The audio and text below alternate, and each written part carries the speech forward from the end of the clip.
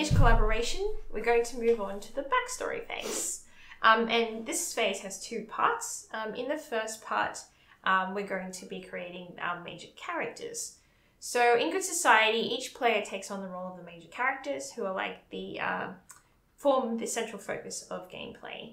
Um, and each major character, as I sort of alluded to before, is made up of four components. Uh, so the first one um, is their desire, which is a burning hope or passion that they wish to accomplish during the game. The second one is a relationship, which is a connection they form with another character, such as um, we've got object of affection, rival, and former friend. Mm-hmm.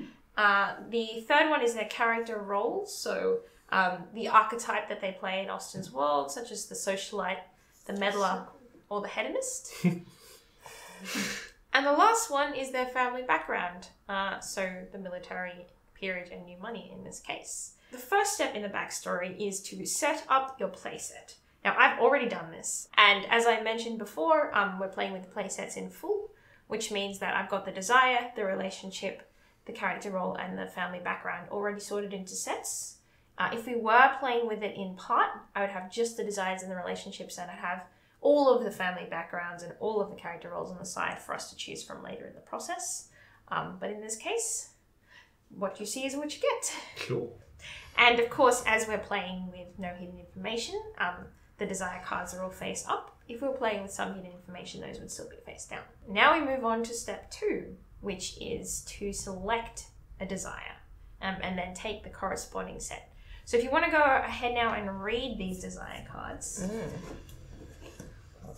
if in the case there was hidden information and you picked up your desire and you didn't like it, you would have the opportunity to swap that for a spare from the playset Quite as like well. this one. Yeah, this. The bol- you bolster your love interest reputation, and then you can marry them. You're like, hey, look at this respectable person I want to marry. Look how respectable they are. Right. Slide. I'm gonna slide these. All right, look, I'll just take this one. That sounds pretty great. So my desire is restore your reputation, be forgiven by your former friend. Uh, once you enjoyed the pleasures of friendly company and good opinion, until in a single instant your mad passions led you to throw it all away. In one rash act, you wronged another deeply and plunged yourself into interminable disrepute. now, all you seek is to bury your past, regain your good name, and find forgiveness. I have desire number five. Come into substantial wealth while ensuring your reputation stays absolutely impeccable. Hmm. I've always had a taste for luxury, be it grand balls, expensive clothing, or the racetrack. But now my debts are severe and uh, the time to pay is fast approaching. I need money fast. You can't let anyone know your true situation. However, as your good opinion and the help you receive from others would both be Uh, lost. I desire number nine. This is a pretty spicy one. Uh, I get to bolster my love interest reputation and then win my parents' permission to marry them. In an ideal world, one is not dependent on the permission of one's parents to pursue their deepest and most ardent affections. And while this is a, only a little historical world, um, that sadly is not an ideal world. And if I want to wed without losing that sweet inheritance, which I need to pursue my hedonist ways, um, I'll need permission from mummy and daddy. And of course, pleasing them means choosing a spouse with a completely impeccable reputation, uh, which apparently I have to build for them because I'm assuming that they're a little bit tarnished at the moment. My parents would never approve of me marrying them, and I have to work on this. So I have to create a parent as a mandatory connection. We've read our desires out loud because we're not playing with any secret information. However, if you are playing with secret information, there are still some things that you will need to reveal during this step. Um, if any of the cards had public knowledge on them, which none of these ones do, that's something that you have to share, whether your desire is secret or not. So they will specify that on the card? Yeah. Yes. So the next thing we're going to do is form relationships between our characters. We all have a relationship card. Yeah. So what we're going to do is take these relationship cards um, and turn them private side up so that we can see the juicier side of the card. so my relationship card is former friend. The giver of this card wronged the taker painfully and completely.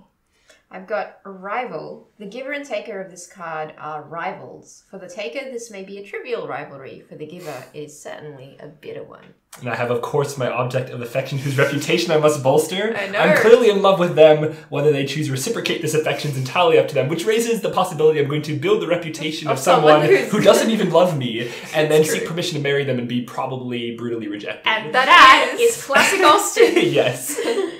That is how you know you're playing the right game. So you notice that in each of these cards, it uses the terminology giver and taker. Mhm. Uh-huh. So the giver is us, the person who originally had the card. Mhm. The taker is the person who will take their relationship card during this process that we're about to do to show that um, a relationship has been formed between your characters. Mhm. So we've got our cards private side up. We've placed them in front of us. Um, and then now, when one of us believes that a relationship would be perfect for our desire, we can go ahead and grab that to form that connection. Um, this should be a very open process. Yeah, so we, we we need can a talk about to make this work, and we might not get it completely right on the first try, so it's okay if we swap around. Mhm. Um, but it's So we best kind, of, to we kind of say, can I claim that Yes. I'm your former friend? yes. Well, I'm really interested in like because this is going to be like the main thing because I think either of us could take that at the moment. Well, what So we want to to avoid is a situation where two people swap cards. That's Yeah. the most important. Yes, thing. of course. I mean, in a three-player game, it's very difficult because the last person. Former friend and rival, it's like, well, yeah, okay. Yeah. Say you have four Actually, players playing, you don't want a situation where two people swap cards and Uh-huh. the other two people swap cards. Because it doesn't encourage play between There's not really people. any connection between those people. Mhm. It's like, go tell your own novel. Ooh, tell our own novel over here. I think it probably makes a lot of sense for me to be your object of affection because you have my a really reputation bad is really reputation. bad. So it just makes everything so hard for your character. What happened to your reputation great. again? It just it fell. It it's- fell. It just we, we don't fell. know. We'll find What out. happened Yeah. was I did something really awful Mhm. that we don't yet- yet know what it was, and It was resultantly, awful. It was the talk of the town. Everyone was plunged. scandalized. Yes. Yeah, I, I could be your former friend,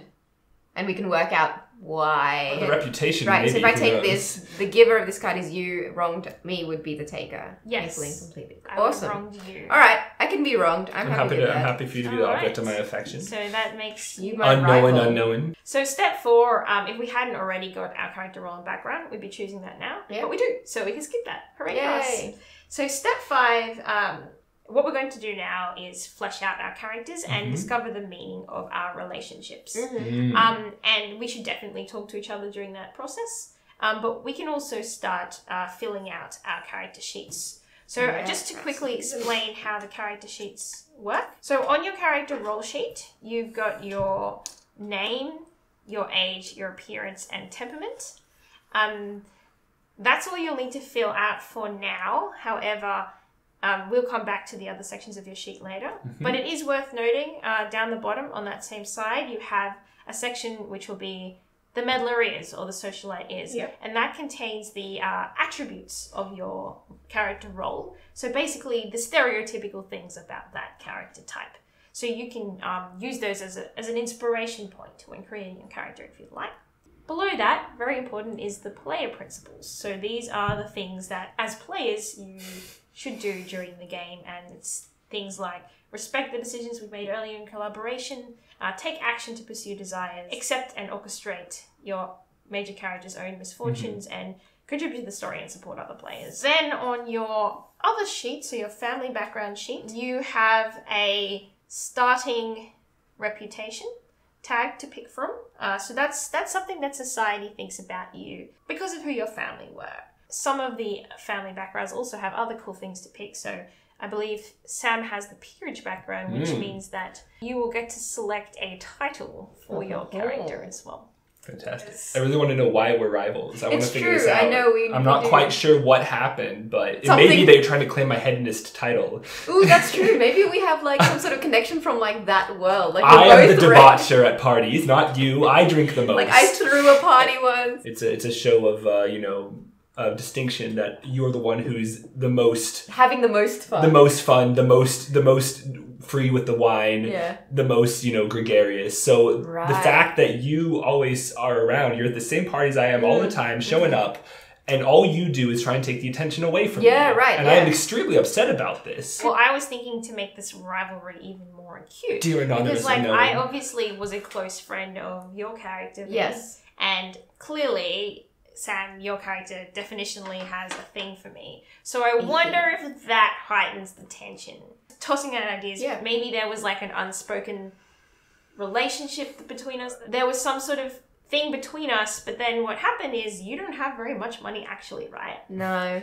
possibly what I did was like very embarrassingly and publicly either call off an engagement or like say no to a proposal Ah. that was very public. So to make it more scandalous, I could have called off an engagement Yes. because that is like a. "Ugh."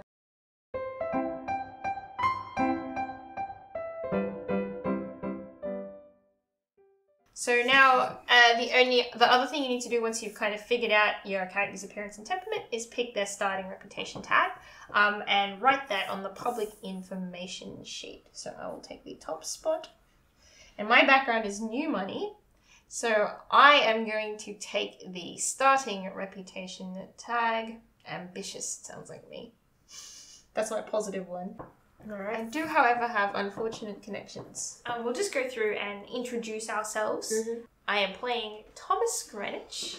He is the meddler, so he likes to be all up in everybody else's business at all times. And I think he gets that trait from his parents. His parents are from New Money. They're like industrial meddlers. They like know everybody and like you know, you see somebody down the road, like my parents know him, and I'm a bit like that as well. I am a vivacious, lively person, but I'm always overdressed for every occasion because I don't understand uh, the correct level of dress for genteel society. As we heard previously, I uh, was formally engaged to Miss Thorne. Um, however, I publicly called off the engagement. The rumor is that it was because the Thornes are in financial ruin. Meanwhile, has love began to blossom between um, Thomas and Baron Valentine? We'll find out.